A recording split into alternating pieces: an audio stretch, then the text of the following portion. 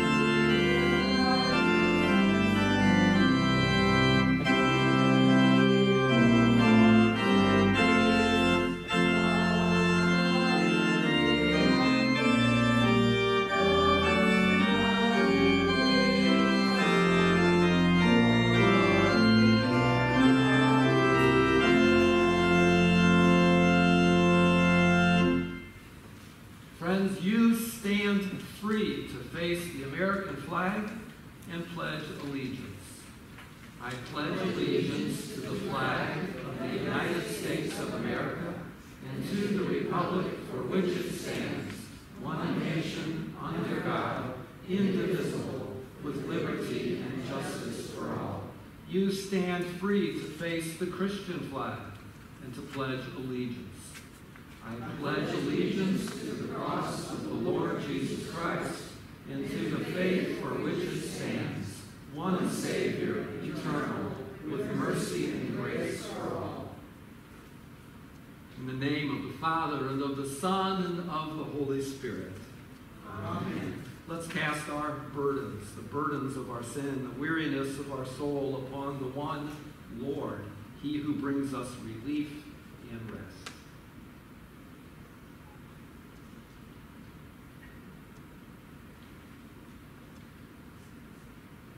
O Lord God, I plead guilty before you of all my sins. I have lived as if you did not matter, and as if I never was. Your name I have not honored as I should. My worship and prayers have faltered. I have not let your love guide my thinking and actions, and so my love for others has faltered. I have hurt some people and failed to help others. My thoughts and desires have been stained with sin. I have not served my nation or your church as I could. I am sorry, because of Jesus Christ and his sacrificial death. Forgive me. Oh, but Jesus promises, Come to me, I give you rest. As Jesus' servant and pastor, I forgive you all your sin in the name of the Father, and of the Son, and of the Holy Spirit. Amen. Jesus has set us free. You be seated, friends, as Judy reads to us from Ezekiel. Want to go to the left or read from here?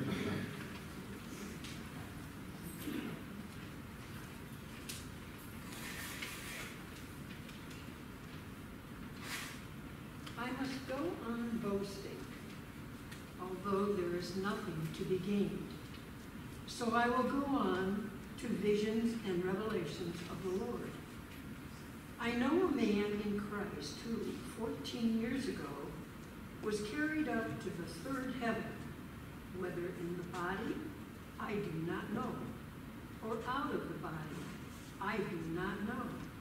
God knows.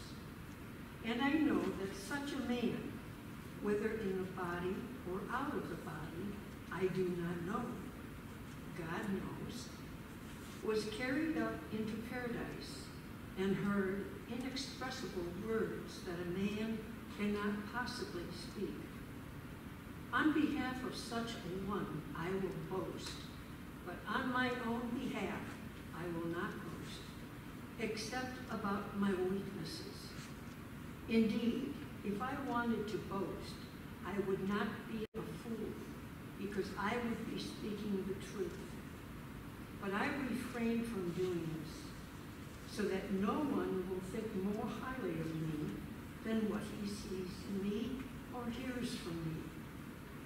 Therefore, to keep me from becoming arrogant due to the extraordinary nature of these revelations, I was given a thorn in my flesh, a messenger of Satan to torment me, so that I would not become arrogant. Three times I pleaded with the Lord about this, that he would take it away from me. And he said to me, My grace is sufficient for you, because my power is made perfect in weakness. Therefore, I will be glad to boast all the more in my weaknesses, so that the power of Christ may shelter. That is why I delight in weaknesses, in insults, in hardships, in persecutions, in difficulties, for the sake of Christ. For whatever I, or whenever I am weak, then am I strong. This is the word of the Lord. Thanks be to God. Thank you, Judy. Kathy, if you're willing to read from the top of page three there, we have words from the prophet Ezekiel. Page three. Next reading is from Ezekiel, beginning of chapter 2, verse to fifth verse. He said to me, Son of man, stand up on your feet, and I will speak with you. The Spirit entered into me as he spoke to me, and brought me up to my feet. Then I heard him speaking to me. He said to me, Son of man, I am sending you to the people of Israel, to disloyal nations who have been disloyal to me. They and their families have rebelled against me to this very day. These children of mine are brazen-faced and hard-hearted. I am sending you to them, and you are to tell them that this is what the Lord God says. And whether they listen or do not listen, for they are a rebellious house, then they will know that a prophet has been among them. This is the word of the Lord. Thanks be to God. Thank you.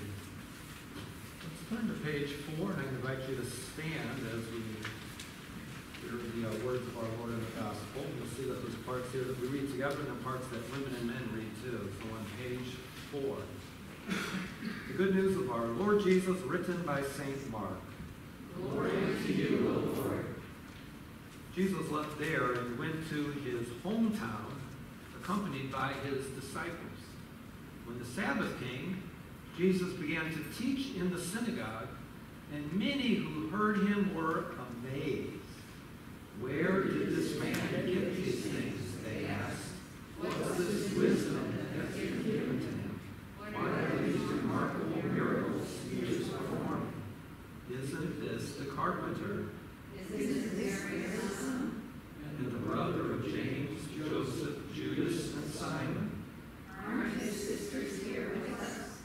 And they took offense at him.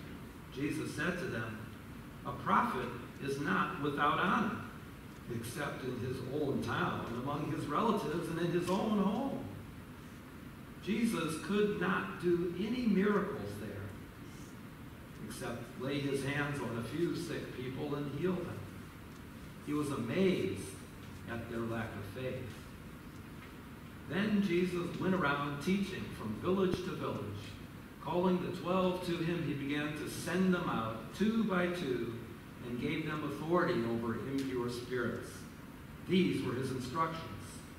Take nothing for the journey except a staff, no bread, no bag, no money in your belts. Wear sandals, but not an extra shirt. Whenever you enter a house, stay there. Stay until you leave that town.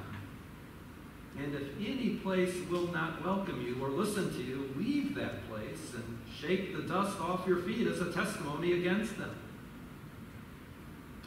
The twelve went out and preached that people should repent. They drove out many demons and anointed sick people with oil and healed them. This is the gospel of the Lord. Praise to you, O Christ. You may be seated, friends. And on page five, this page is intentionally left blank. So Somebody explained to me. I, I was writing my sermon still when uh, Lee had, Leanne had to print this on Thursday. Of course, our uh, theme on this 4th of July weekend is God bless America. And I also say, uh, God bless you, because you let me take these last three weeks off when we got up to Philadelphia, where uh, Ellen and I had fun with Mary, our daughter living in Manhattan now, and there's Ben, who's a park ranger at the Liberty Bell.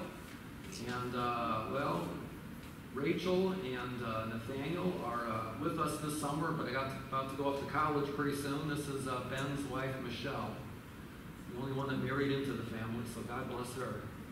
But uh, okay, so that's those people. But this is why you really go up to Philadelphia. Anna, baby, come on! Hey, let's hear it for the grandchild.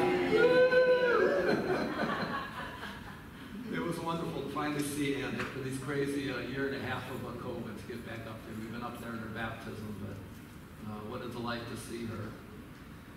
So, and then we get to come home to, to all the love we have here. This is a story where Jesus is uh, coming to his hometown.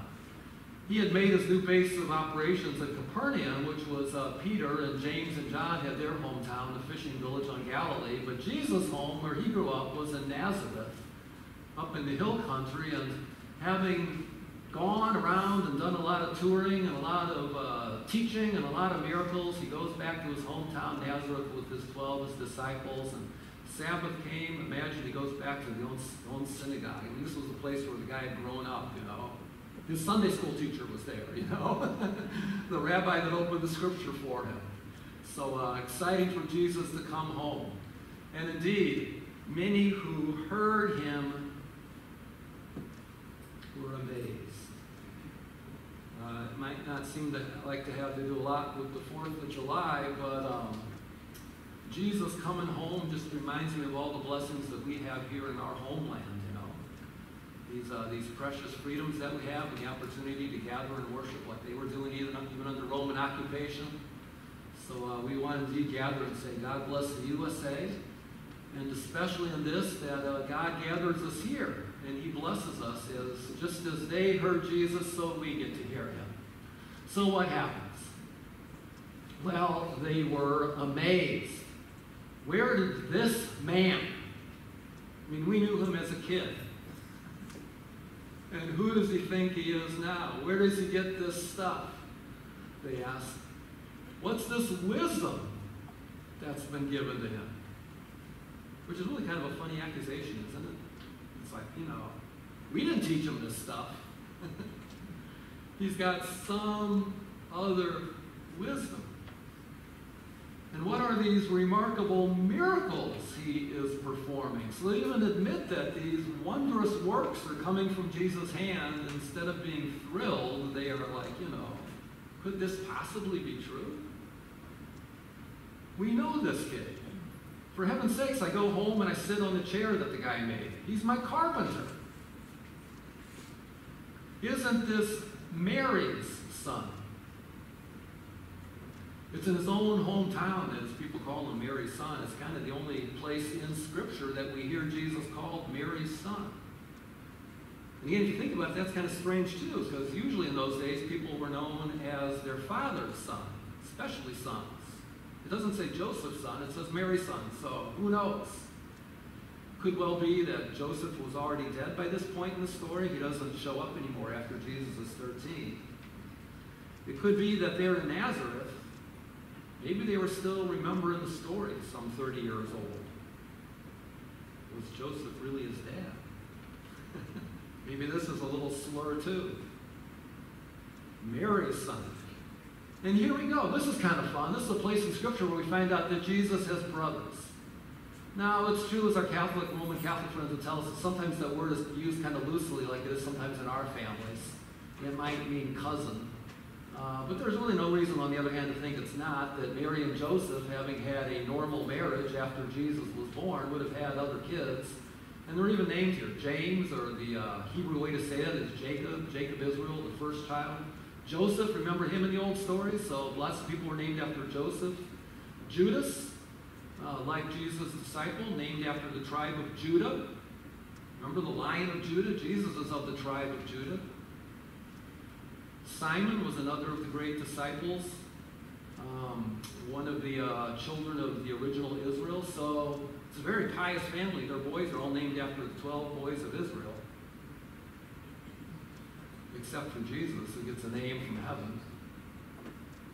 And this is interesting too. This is scripture that tells us that Jesus has at least two. Who knows how many more sisters and brothers he had? But if I count two plus four plus Jesus, there's at least seven in that family. Well, anyway, it starts with them amazed that Jesus has come home with this great reputation, and there he is teaching, and by the time they're done figuring it out, they just take offense at Jesus. We've got that little proverb familiarity breeds contempt. we know this kid. And so Jesus says to them, a prophet is not without honor. People were thrilled to receive him all over Galilee, except in his own town, among his relatives, and in his own home. If you want to wreck your next family reunion, you can always quote that one, okay?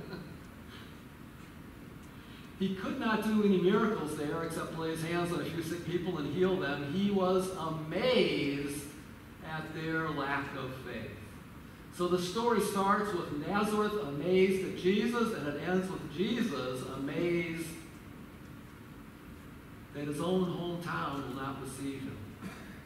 But the part of the story that amazes me those words that I've stuck out in red.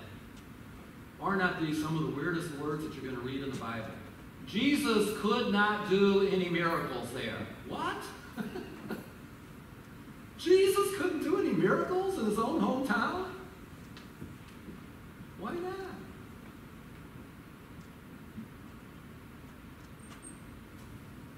And again, it's not just an old story. Sometimes I look at my homeland, these beautiful United States of America, and I am so grateful for all the gifts that God has given us in our wondrous history. And there's another part of me that is really quite terrified seeing some really awful stuff in our history. You can ask Native Americans or African Americans sometimes. It's not always been a pleasant thing. Group that's come in here, it's beautiful to be in this melting pot, yet sometimes it always hasn't been working as well as it could. I don't know whether you're a progressive who is upset that things don't progress as well as they could, or if you're a conservative who's upset that a lot of the beautiful history of the ideals and the uh, wonderful shining truths that on which this nation is founded, that those things can get lost. I think all of us wish, like, can't you fix this stuff in our homeland, Jesus? and if that's too vague, it's not just my homeland, I can even see in my own home things that I wish the Lord would fix. To get real personal, I can see stuff in my very self, and I'm sure you can too. It's like, man, Lord, I've been struggling with that for a long time. Can't you fix that? Can't you take away that trouble? Why don't you do the miracles that you know would be such a blessing for me? he could not do any miracles there why not? So that's one thing that this beautiful story starts to answer for us. A lot of people look at this story and they notice that his hometown took offense at Jesus. They did not honor the one that God had sent to their very rescue. Instead, they were contemptible towards him. So Jesus not doing any miracles, maybe it's because Jesus is plainly condemning them. You're offended by me? Well, you got nothing from me then. Could that be? And then if you think a minute about Jesus, does that sound like his heart? You don't love me, I'm not going to love you? What? He's never been like that. A couple of months ago, I got a preach from John chapter 3. You remember, God so loved the world that he gave a son, that whoever believes in him is not going to perish but have everlasting life. Remember the next verse, verse 17. For God sent his son into the world not to condemn the world. I mean, Jesus could have shown up and put us all in our place. And in fact, Jesus sometimes does show up in our lives, and he very forcefully points out what's wrong with us. He's not shy to deal with the sins of the Pharisees or the sins of the tax collectors or the sins of the harlots or the sins of whoever encounter him. He'll tell people where they've gone astray. You know, put your riches down, rich man, they're killing you. But that's not why he came. Jesus sent his son into the world not to condemn the world, but to save the world. He will point out our sin. He will point out our idolatry and the way we turn away from it, but not because he wants to get us. In fact, Jesus is the one who himself undergoes the condemnation that our sins deserve, right? That's what that cross thing is all about. So why aren't you doing any miracles? Well, others have noticed that in this story, it says he could not do any miracles there, and he was amazed at their lack of faith. Maybe Jesus could do no miracles because these people refused to believe. That makes some sense. Please think about it. when did Jesus ever need our faith to stuff? I mean, this is completely ridiculous. From Genesis 1, where God makes the world and he gives us this beautiful creation. Who asked him to do that? I love the story where there's a funeral procession coming out of the town of Nain, and this poor widow has lost her only son, and everybody there is just overwhelmed with grief. Who's going to take care of this poor lady? She's already lost her husband, now she's lost her only son. Nobody asked Jesus to get involved there. And here he comes marching up with all of his disciples behind him, and they're trying to hold him back. He just marches right up and says, Stop! Stop the funeral right there. He says to the dead guy, Get up! Who believed in him there? His disciples are holding him back. The widow is overcome with grief. The guy is dead. What did he believe? And yet Jesus says, Get up. So what does he do? You're darn right. you can't stop Jesus from doing what he wants to do by not believing him. In fact, just the opposite. It's because Jesus is always doing stuff for us that we do have faith. So it's not that Jesus is angry and refuses to care for the people. It's not that the people don't deserve it. It's not that Jesus sees that they lack faith and it would really be the same kind of a thing, wouldn't it? Says, well, you don't believe in me, I'm not going to take care of you. No. Answering the question. Why could Jesus not do miracles there?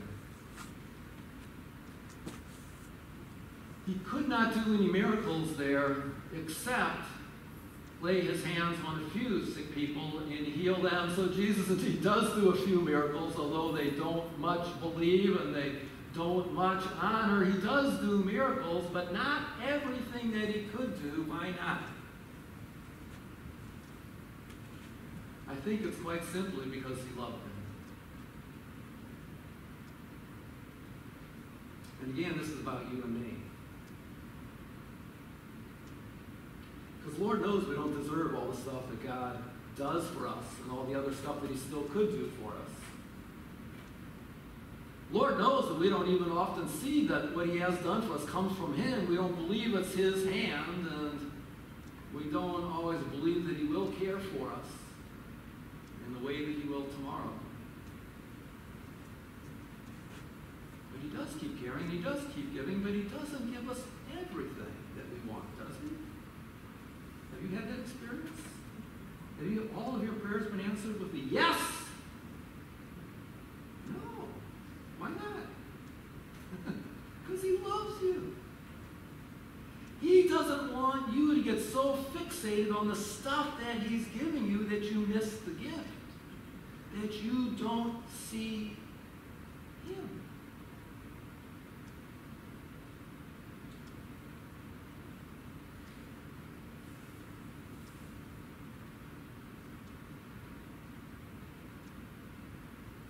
I saw Jesus answer my prayers for my mom so many times, so wondrously, but not all the time. Why not? Because he loves me, and he loves her, and he's got a bigger plan. He's got a better plan.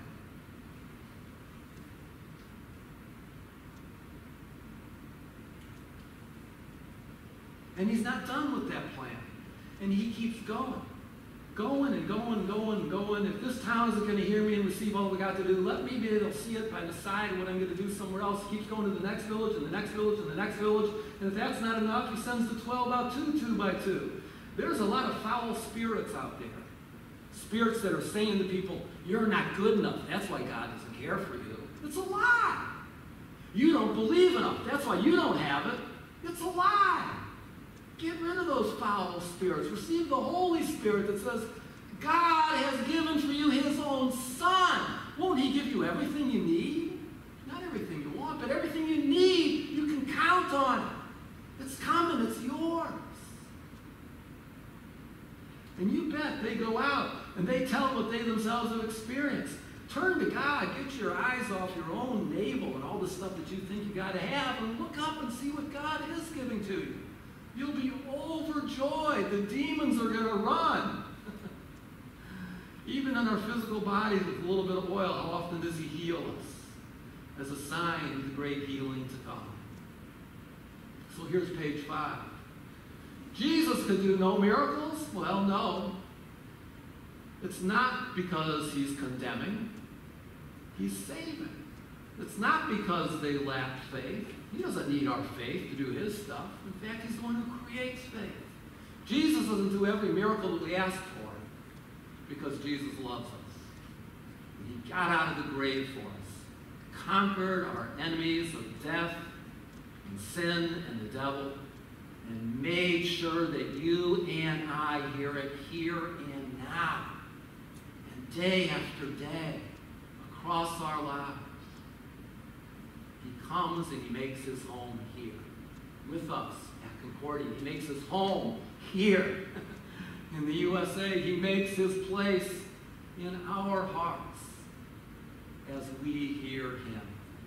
He's here for us. This is my body, this is my blood. You're forgiven. I'm here for you.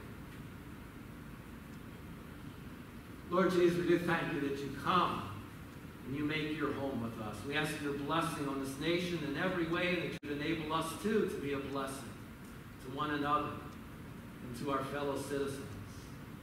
Help us, Lord, to hear your word and to rejoice in your gifts and look for the great miracle in your nail-pierced hand. We pray in your holy name.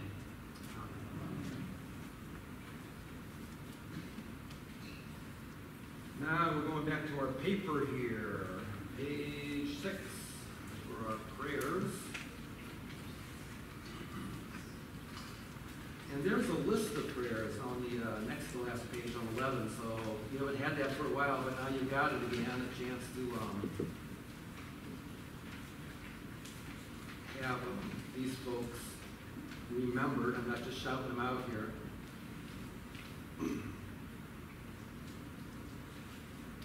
The uh, prayer that I want to add to that was uh, Jim and uh, Jim Myers and Alice wants to pray also for uh, Bonnie Kalick. Bonnie's been caring for Jim, and now Bonnie's got some health issues again too. So I'm just praying for the Lord's healing, wisdom for those doctors. Right? Is that plain enough? Okay. So blessings on Bonnie and Jim. as uh, they continue their adventure with their health. Are there other prayers that you all would like to add here tonight? Any other special needs and thanks?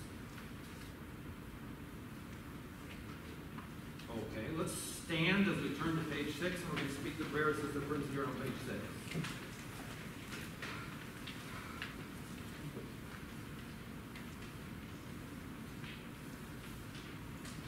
O merciful Christ, care for your Christians and the whole world, for all pastors and leaders in your church, especially for those feeling burdened. Help us to be gentle and humble of heart, and so reveal you the. Almighty God, we acknowledge with thanks that all we have and enjoy is a gift from your gracious hand. We come before you today in heartfelt appreciation for our nation and its people. We thank you for enabling us to worship you in freedom and to serve you without fear. You have enriched us with the bounties of farm and factory, beauty of forest and mountain and beach, and the marvels of medicine and science. Look with upon this nation, this state, and this community. Preserve the rule of law and our cherished liberties. Enable our leaders to govern with wisdom, honesty, courage, and justice.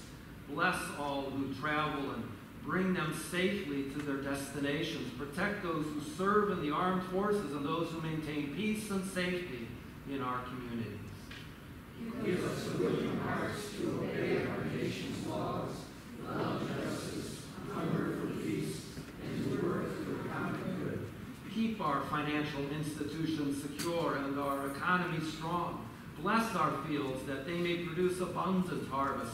Guard us from calamities of nature, from hurricane, from accident, and spare our land from the ravages of disease and epidemic. When times are prosperous, let our hearts be thankful.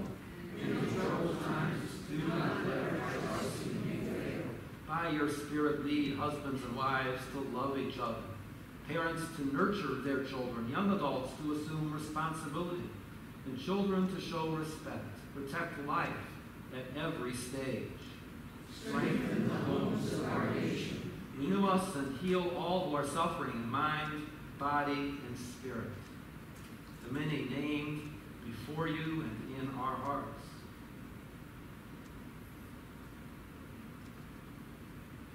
Give comfort, give hope to those who mourn the loss of loved ones. Lord Jesus Christ, heal us in body and soul. O Lord of the church, feed and fill us with your mercy and grace. Place your word in our hearts and minds. Strengthen us through the body and blood of your Son, which you give to us in his bread and wine.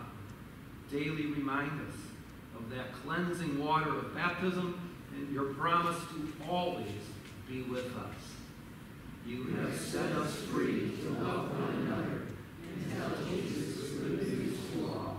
Lead us by your Spirit. Amen. Lift up your hearts. We lift them to the Lord. Let us give thanks to the Lord our God. It is right to give him thanks and praise. Is truly good, right, and healing that we should at all times and in all places give thanks to you, O Lord, Holy Father, Almighty and everlasting God, for the countless blessings you so freely bestow on us and all creation. Above all, we give thanks for your boundless love shown to us when you sent your only begotten Son, Jesus Christ, born in our flesh. And you laid on him our sin, giving him into death so that we might not die eternally. Because he is now risen from the dead and lives and reigns for all eternity, all who believe in him will overcome sin and death and will rise again to new life. Therefore, with angels and archangels and with all our companions in heaven, we too laud and magnify your glorious name evermore, praising you and singing.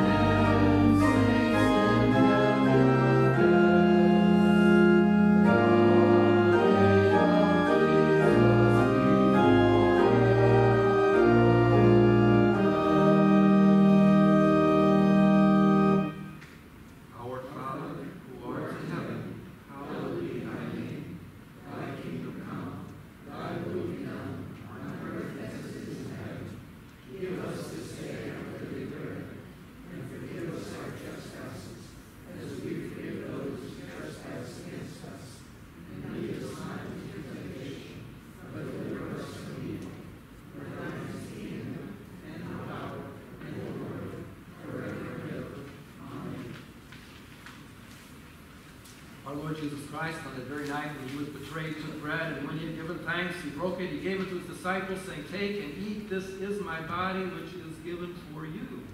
Do this as often as you eat in remembrance of me. In the very same way, Jesus took the cup after the Seder supper, and when he had given thanks, he gave that to them, saying, Drink from this, all of you. This is my blood, the New Testament, which is shed for you, for the forgiveness of your sins. Do this as often as you drink it in remembrance of me. Taste and see that the Lord is good. Blessed are those who take refuge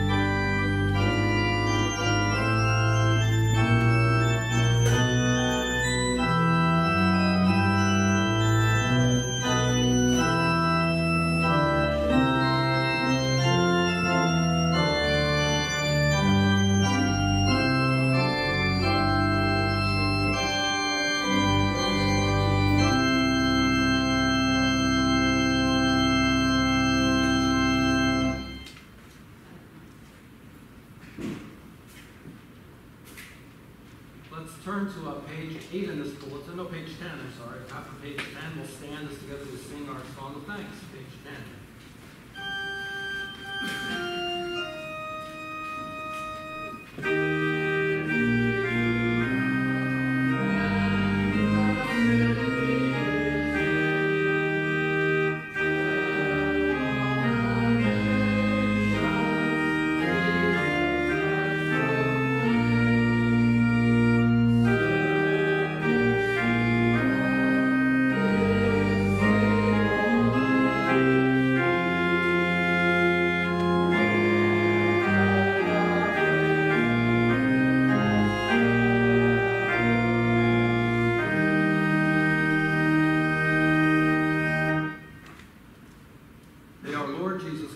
Himself and God our Father, who loved us and by his grace gave us eternal encouragement and good hope, encourage your hearts and strengthen you in every good word and deed. Amen. The grace of our Lord Jesus Christ, the love of God, and the union of the Holy Spirit be with you always. Amen. Amen. Hallelujah. God